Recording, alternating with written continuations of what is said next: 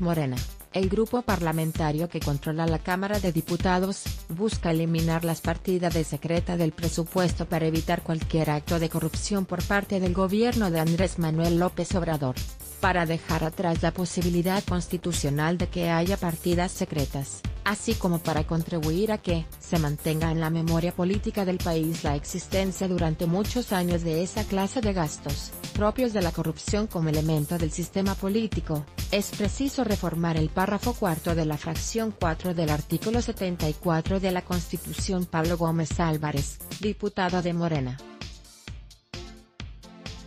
Te puede interesar. Consulta de Tren Maya no es simulación, AMLO la persistente denuncia de la partida secreta, parte menor pero simbólica de los gastos discrecionales, llevó a su cancelación en el presupuesto de 1998, aprobado en diciembre de 1997, luego de que el Partido Revolucionario Institucional había perdido la mayoría en la Cámara de Diputados, comenta el experredista.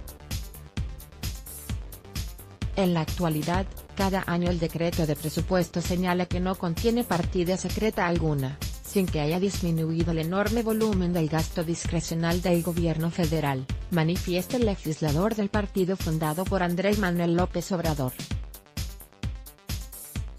Gómez Álvarez dice que existe una versión sin base jurídica, pero muy común en los medios políticos y recientemente, en los judiciales, que consiste en considerar que la partida secreta no requiere justificación, es decir, comprobación.